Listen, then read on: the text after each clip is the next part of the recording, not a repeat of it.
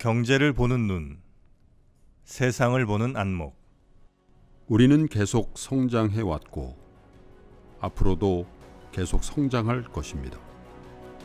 더 많은 사람들이 성장할 수 있도록 3프로 TV도 멈추지 않겠습니다. 바로 지금부터.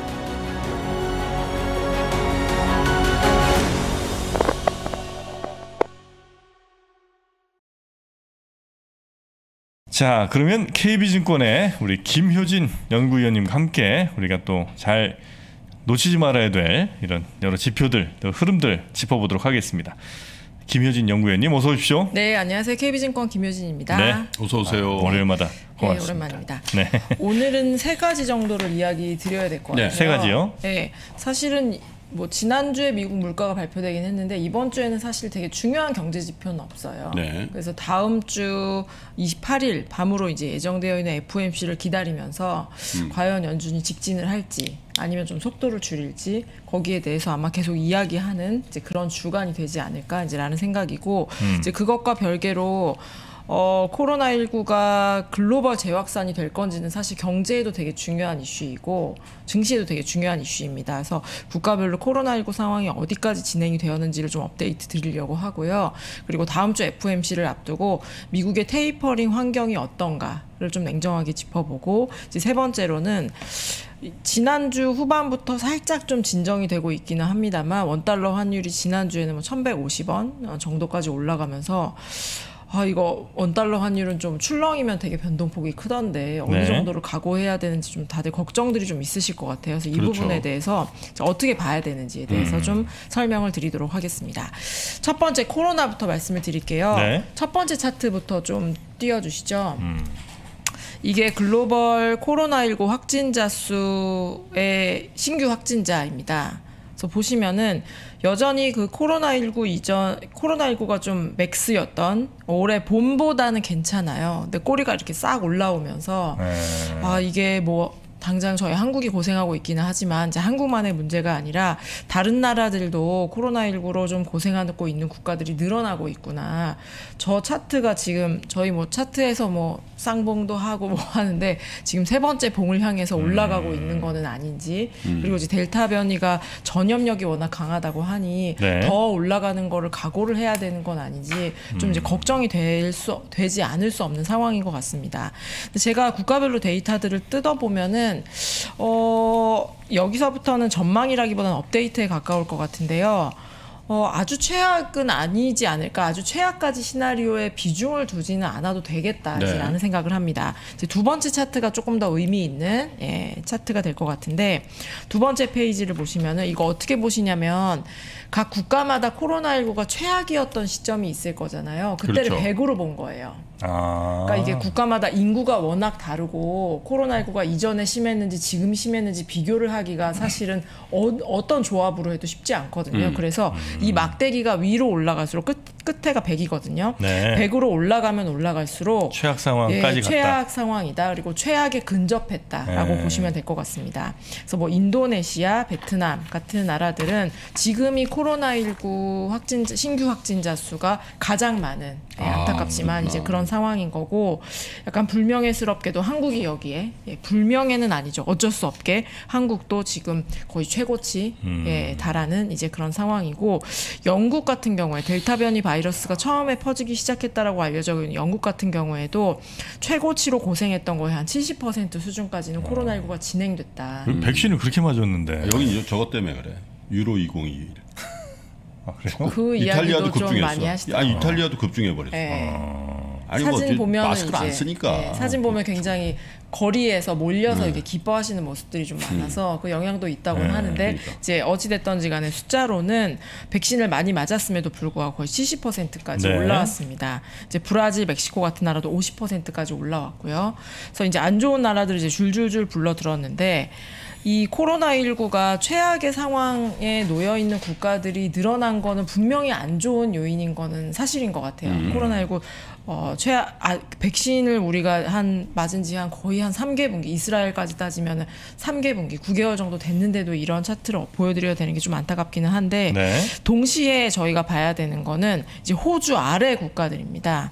이제 보시는 것처럼 음. 미국, 뭐 프랑스, 뭐 독일 같은 이제 나라들은 코로나19가 최악이었던 시점, 올해 봄이 될 텐데요. 이제 최악이었던 시점에서 코로나19 신규 확진자 수가 10분의 1도 못 미치는 수준에 있어요. 그러니까 미국 같은 나라도 다시 늘고 있습니다. 네. 그래서 다시 저희도 아 이거 미국마저 이게 연쇄적으로 느는 것은 아닐까 순차적으로 늘면서 결국은 글로벌이 다 코로나19로 다시 한번 굉장한 고생을 하게 되는 게 아닐까 락다운까지도 생각해야 되지 않나라는 게 확률이 높아지고 있기는 합니다만 지금 현황을 놓고 보면은 이미 좀 많은 국가들이 코로나19가 다시 좀 최악인 국면으로 간 상황에서도 네. 뭐 미국이나 독일 이제 같은 나라들은 어, 예전에 최악이었던 시점에 10분의 1 정도 수준에서 지금 뭐 방어를 하고 있달까요? 이제 그런 상황들이 나타나고 있기 때문에 어, 경제에 대해서 제가 한 한 달 전부터 나와서 계속 이제 속도가 높습니다. 네. 감속이 됩니다라는 이야기를 드렸는데 아직까지는 위축보다는 감속 정도로 봐도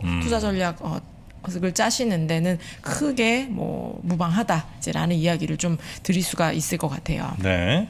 그래서 코로나19 네. 네, 여러분이 혹시 저 표를 보시는데 약간 오해가 있으실 수 있는데 요거는 각 나라별로 하여튼 최악의 상황을 100으로 놓고 현재 상황이 그 최악의 상황에서 어느 정도나 되는지 예. 나타내는 지표입니다. 지금 현재 뭐 에, 확진자 숫자로 이렇게 쭉 나열한 그런 지표는 지, 에, 표, 지표는 아니라는 말씀 다시 한번 좀 드리겠습니다. 네, 네, 네. 그래서 네. 다시 한번 거듭 말씀드리지만 이 막대기가 위로 올라갈수록 지금 신규 코로나 일일 신규 코로나 확진자 수가 음. 가장 많은 어, 국면에 와 있다라는 걸 뜻하고요. 낮을수록 네. 예전에는 많았을지언정 지금은 예전에 최악이었던 국면에 비해서는 음. 코로나19 부담은 약간은 낮아 진 상황이다라는 국가들이 이제 왼쪽에 포진해 있다라는 네. 거를 예, 말씀드리면 될 것 같습니다.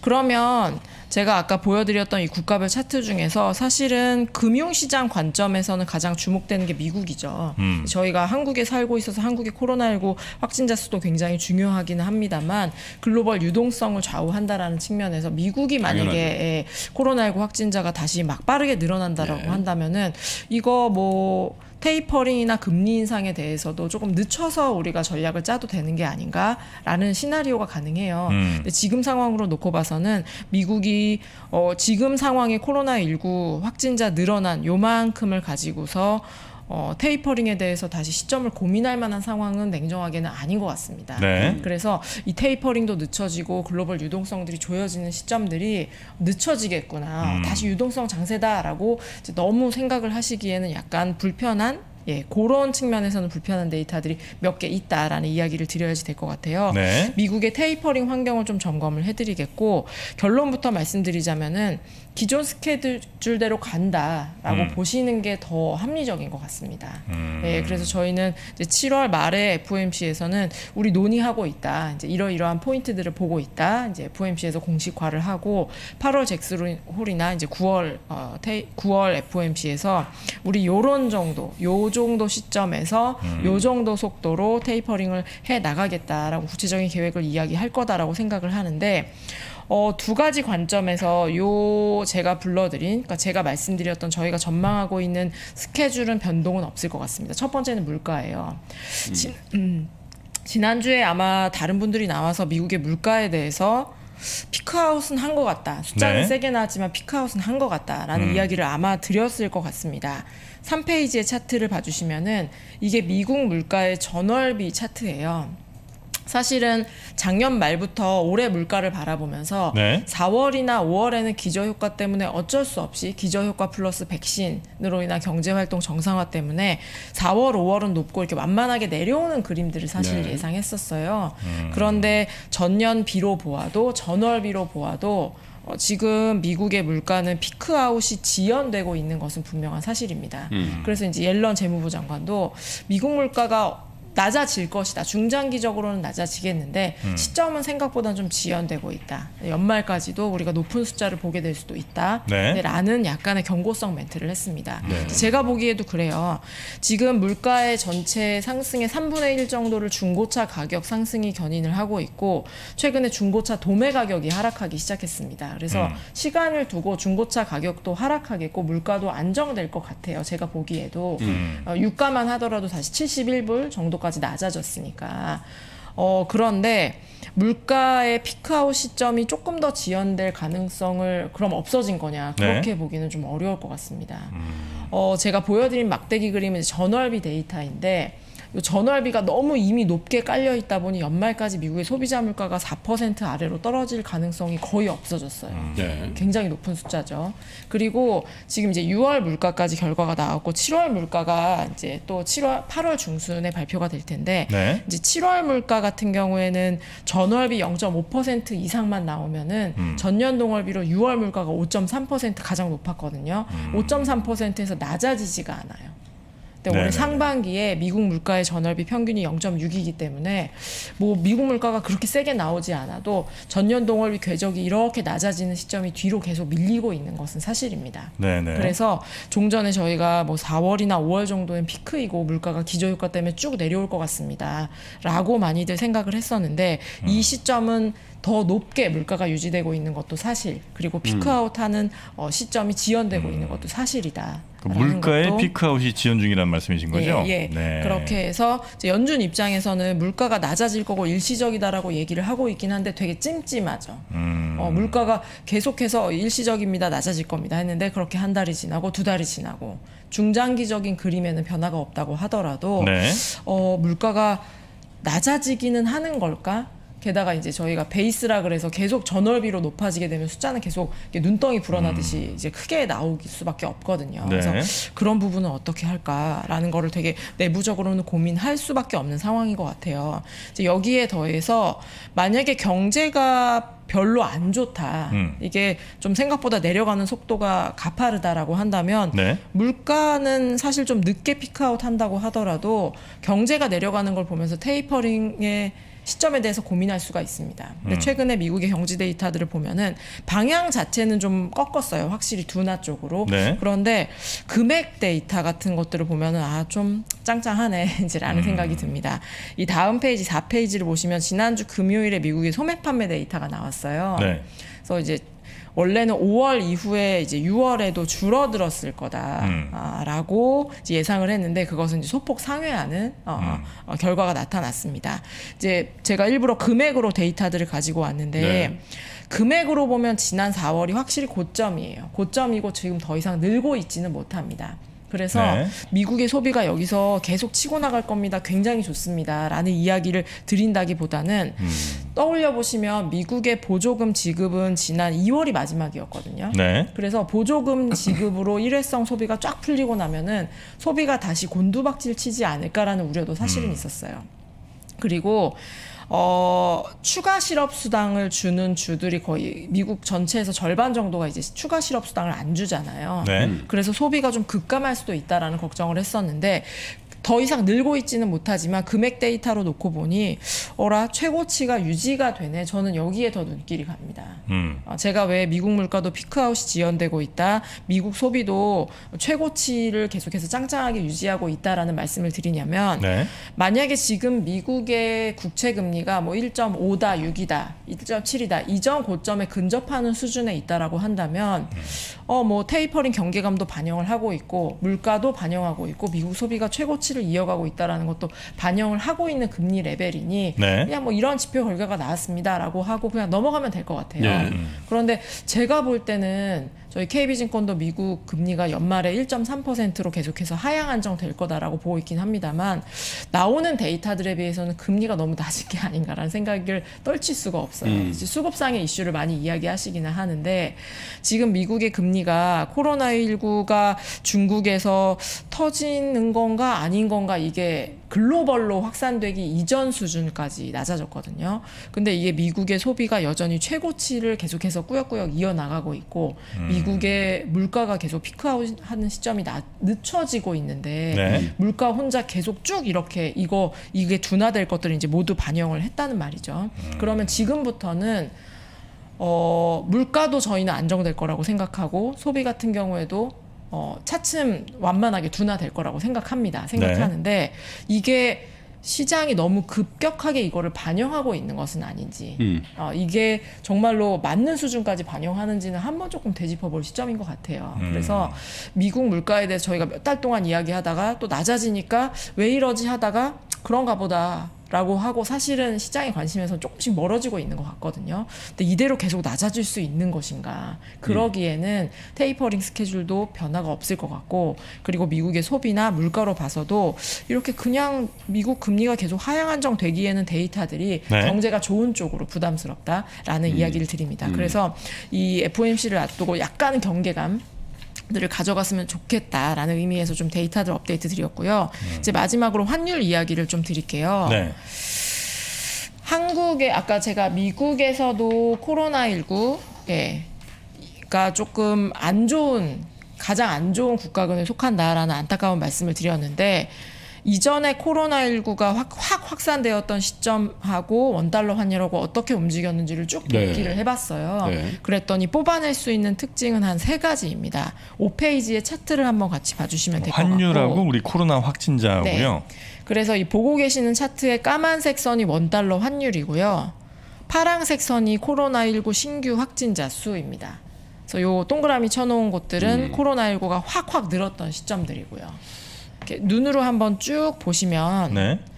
특징은 세 가지 정도인 것 같아요. 첫 번째는 코로나, 그러니까 팬데믹이 장기화되면서 N차 유행이 반복되었음에도 환율의 민감도는 낮아지고 있습니다. 그러니까 처음에는 코로나19가 탁 터졌을 때는 환율이 굉장히 급등을 했었죠.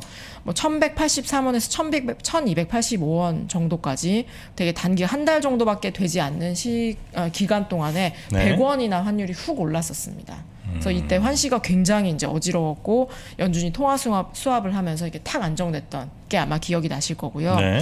두 번째 유행, 뭐 세 번째 유행, 지금 이제 유행까지도 이렇게 쭉 데이터를 놓고 보면은 첫 번째 코로나19가 확 불거졌었을 때를 제외하면 평균적으로 환율 상승폭은 한 20원 정도예요. 사실 그렇게 크지는 않죠. 지금 환율이 상승했기는 합니다만 지금 장중 고점까지를 감안한다고 해도 환율 상승폭이 한 20원 정도이거든요. 음. 그래서 저는 추가적으로 원 달러가 상승할 수 있냐. 코로나19는 여기서 더 확산된다, 확산 안 된다라는 거는 이게 딱 집어서 이야기하기 힘들고 되게 걱정스러운 마음들이 이제 크지만 네. 외환 시장 입장에서 놓고 보면은 어, 1차 유행을 제외하면 두 번째, 세 번째 평균 어, 환율 상승폭이 20원 내외라면 지금 그 정도는 다 반영이 됐다. 음. 아, 라고 보셔야지 될 것 같습니다. 네. 그래서 당장 원달러 환율이 하향 안정된다라고 보기는 어렵기는 하지만 여기서 위를 더 많이 봐야 되냐 아니면 네. 이 다음은 하향 안정이냐 강세 되돌림이냐 저는 강세 되돌림일 가능성이 높다 이제라는 생각이고 네. 그러면 원 달러 환율이 언제쯤 방향성을 잡고 다시 아래로 내려갈 수 있겠느냐 음. 코로나 19가 꺾여야 환율도 같이 내려갑니다. 음. 굉장히 당연한 말인 것 같기는 한데 어, 두 번째, 세 번째가 9월에도 그랬고요. 그러니까 지난해 9월에도 그랬고 올해 초에도 그렇고 코로나 19 신규 확진자 수 고점하고 환율 고점하고 거의 일치하더라고요. 근데 이게 제가 뭐 그래프를 잘 못 봐서 그렇긴 네. 하겠습니다만 일단 뭐 혹시 보시는 분들이 이제 선 색깔 구별이 안 되시니까 이제 맨 밑에서 시작하는 게 코로나19 신규 확진자입니다. 그리고 이제 네. 좀 위에서 시작하는 게 원달러 환율이고요. 쭉 이렇게 이어지는 게 네. 원달러 환율이고요. 그렇죠. 네. 삐쭉삐쭉한 게 이제 코로나19. 색깔이 예, 지금 예. 다음부터는 좀 구분을 좀 해가지고 와야 돼요. 근데 이제 이게 연관이 진짜 있는 건가 아니면 혹시 그 예를 들면 원달러 환율에 우리의 코로나 상황보다 훨씬 더 중요한 게 혹시 그냥 미국의 달러 뭐 인덱스 뭐 이런 그냥 달러의 가치 정도가 아니었을까? 아, 혹시 이게 우리의 원 달러 그러니까 우리의 신규 확진자랑 정말 이게 관련이 있는 그래프인가? 음, 어, 잘 되게 예리한 질문이신 것 같고 많이 바뀌었어요. 적응하셔야 돼요. 적응하셔야 됩니다. 네. 일단은 처음에 코로나19가 터졌을 때는 네. 한국의 코로나19 상황도 문제였지만 네. 글로벌 안전자산 어, 현상이 심화되면서 달러 강세로 갔었잖아요. 그래서. 그게 엎친 데 덮친 격으로 원 달러가 더 올라갔다라고 생각하시면 될 것 같아요. 아, 아. 근데 사실은 지금도 다르지 않은 것이 네. 달러 지수가 92대 뭐 89, 88 이렇게 내려가던 것들이 92대로 확 올라왔잖아요. 거기에 이게 엎친 거고 음. 네, 덮친 격으로 이제 한국의 코로나19 신규 확진자 수가 하루에 뭐 1,600명을 돌파를 음. 한 거고요. 그래서 사실은 떼어놓고 생각을 할 수는 없을 것 같습니다. 그러니까 네, 만약에 네, 네. 글로벌이 다 조용하고 한국의 코로나19만 난리였다라고 한다면 이건 한국의 고유 요인으로만 보시면 될것 음. 그렇겠죠. 같고 네, 네, 네. 사실은 한국도 다른 나라가 좀 시끌시끌할 때 잘 방어, 그러니까 좀 상대적으로 안정적이었을 때도 있고 네. 다른 나라가 시끌시끌할 때 같이 조금 고생을 하는 경우가 대부분이었었기 때문에 음. 두 개가 엎친 데 덮친 격으로 배가 네. 시켰다라고 보시면 될 것 같고 다시 이야기를 돌아와서 어, 2차, 3차 지난해 8월 그리고 올해 초에 원달러 환율 코로나19 상황 사실 올해 초에 되게 심상치 않았었습니다. 이제 그랬음에도 불구하고 환율 상승폭은 한 20원 정도에서 마무리됐다라는 처- 점에서 네. 그리고 지금은 이미 20원 이상 상승했다라는 점에서 여기서 위로 되게 많이 튈 수 있냐? 저는 어, 코로나19가 진정이 되지 않는다고 하더라도 여기서 환율의 추가 상승폭은 크지 않다라는 생각을 합니다.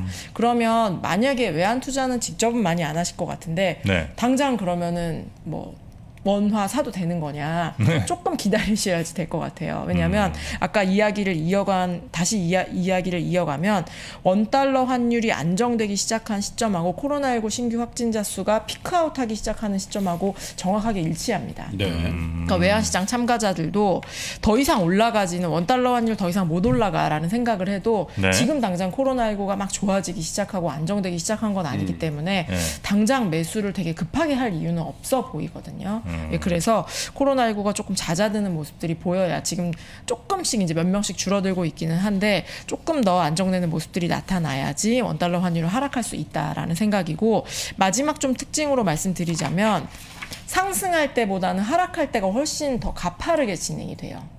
그러니까 코로나19가 이제 악화가 될 때는 음. 네. 예를 들어서 뭐한 달에 걸쳐서 한 30원 정도 이렇게 올랐다라고 한다면 다시 하향 안정될 때는 한 뭐 열흘의 제자리까지 음. 굉장히 가파르게 하향 안정이 됩니다. 그래서 네, 네. 방향이 다 바뀌었다. 코로나19 확실히 좀 진정이 된 것 같다. 그리고 환전에 대한 수요가 있으시다라고 한다면 음. 그 시점을 이용해서 좀 빠르게 매수하시는 것이 좋겠다라는 이야기도 아, 지난 근데 경험을 이 차트 좀 보면서 내가 느끼는 건 요걸 이제 코스 피 지수를 넣어놓으면 더 선명하게 보일 것 같은데 2020년 3, 4월 달에 한국 주식 특히 한국 대표 주식 매도한 외국인이 제일 바보처럼 한 거군요. 그렇죠. 네? 지나고 보면 예, 음. 주식도 주식도 너무 싸게 팔았고 코리안 원에 대한 배팅도 정 반대로 한 거 아니에요? 그렇죠. 팔고 나서 원화 강세 확 있어버리니까 이거 뭐 추세가 이렇게 어 그때가 거의 1,300원 가까이 됐었네. 네, 보니까. 1285원. 네, 그런데 이게 저점 대 저점 보시면 2020년 11월, 12월에 보시면 1,100원을 깨고 내려가잖아요. 네, 네. 그러니까 원 달러 이때 이제 환전해서 삼성전자 예를 들면 삼성전자 팔고 달러 찾아서 나간 외국인은 손에 원 많이 달러. 엄청 깨지고 그 잘렸겠는데. 야, 너 두 개 다 이렇게 못하니? 이런 이런 거. 아니야? 아, 이렇게 달러원 추이랑 그리고 또 코로나 확진자랑 또 비교를 예, 해봤습니다. 그래서 뭐 우리 원화의 막 큰 변동은 뭐 그렇게 있을 것 같진 않은 네. 그런 상황이다. 사실은 뭐 지난해 하반기부터 외국인이 딱히 매수하지도 않고 엄청 매, 매도에 음, 가까웠죠. 그러니까. 그래서 사실은 환율은 사실 외국인 매수 매도에서 되게 중요한 변수이기 음. 때문에 저도 자주 이야기를 드렸던 것 같은데 최근에는 얘기를 좀 안 드렸던 것이 외국인 매수 매도랑 크게 관련이 좀 점차 옅어지고 있는 것 같아서 얘기는 음. 안 드렸지만 레벨이 만약에 확 또 레벨업을 하면 김 프로님 이야기하신 대로 음. 되게 외국인 투자자들이 돌아놓고 보면은 음. 잘못된 투자라고 하더라도 파는 경향들은 사실. 보였었거든요. 음, 그래서 여기서 한 번 더 레벨업을 하면서 불안한 양상을 보이는지 아니면은 뭐 그냥 저냥 저렇게 지나갈 수 있는 건지가 판단이 중요한데 저는 추가 상승 가능성은 그렇게 높지 음. 않다라는 의견 드립니다. 반대로 우리 서학개미 분들도 작년에 용기를 내서 2020년 4월경에 미국 주식을 투자한 분 기준으로 보면 주식 수익률에서 상당 부분을 차감해야 된다는 얘기죠. 그렇죠. 아, 네, 그러네요. 예. 아, 이 환율이 참 저는 어려운 거예요. 아, 제일 어려운 거죠, 환율이. 네, 환율이 주식 채권 환율 중에 환율이 제일 어려워요. 네. 왜냐하면 관계거든, 이건. 하, 이 주식은 잘하는데 환율이 제가 좀 약간. 뭐 네. 넘어간다. 몇 등 했나? 아 그거요. 예. 아 끝났어요. 끝나. 좀 이따 얘기하지. 네 알겠습니다. 가슴 아픈 얘기니까. 자 함께 해주신 우리 KB증권의 김효진 연구위원님 오늘 대단히 고생 많으셨고요. 다음 주 월요일에 또 한 주의 시작을 잘 시작해 주시기 바라겠습니다. 오늘 대단히 고맙습니다. 감사합니다. 감사합니다. 안녕하세요. 3프로TV 애청자 여러분, 저희가 이번에 보너스 강의를 준비했습니다. 친절한 주식 기초 교육과 매매 기술을 수강하시다가 궁금했던 점 있으시면 질문해 주세요. 여러분들의 질문 중 우수한 질문을 추려서 저희가 성심껏 노하우를 담아서 답변해 드리도록 하겠습니다. 답변 내용은 강의로 찍어서 연불리의 친절한 주식 기초 교육 혹은 박병창 부장의 매매 기술 강의를 구매하신 분들에게 무료로 제공해 드리도록 하겠습니다. 자세한 사항은 페이지 2 공지사항을 참고해 주세요. 그럼 여러분의 성공 투자를 응원하겠습니다.